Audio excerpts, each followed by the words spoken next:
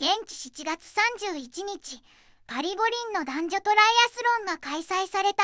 連日続いた雨により水泳会場であるセーヌ川に大量の生活排水が流れ込んで水質が悪化。前日に男子が延期となっていたが大会組織委員会は水質は水準をクリアした。と結論付けて強行を決定する。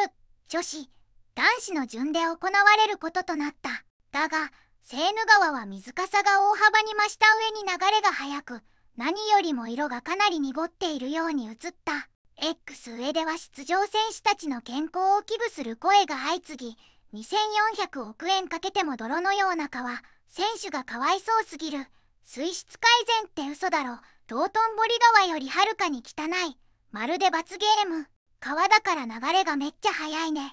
すげえとこ泳がされてんな。トライアスロンはお水への体制も求められるのかなどなど厳しい意見が大多数を占める。